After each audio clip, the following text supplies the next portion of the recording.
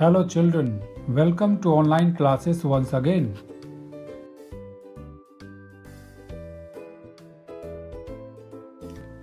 This is module 5 and we will see the remaining part of the story.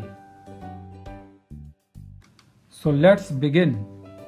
Students exhibited rare attention. Everyone was set to work very quietly.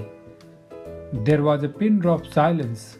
The only sound audible was the scratching of pens over paper. The little ones also worked with concentration. Even the beetles failed to distract them. Franz recalled M. Hamel's dedicated service. Hamel had served the school for 40 years.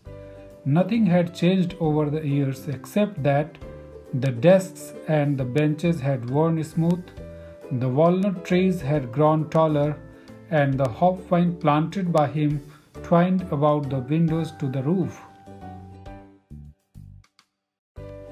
M. Hamel kept his courage. He heard every lesson to the last and delivered his last lesson in history. Everyone became emotional at the end of the lesson, and tears rolled down their eyes. M. Hamel roused the spirit of patriotism. As the church clock struck 12, trumpets of the Prussian soldiers sounded under the windows. Overwhelmed with emotions, M. Hamel wrote Vive la France on the blackboard and then dismissed school by making a gesture with his hand.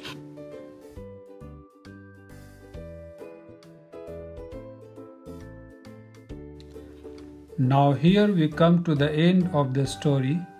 Hope you have understood it well. Thank you and have a nice day.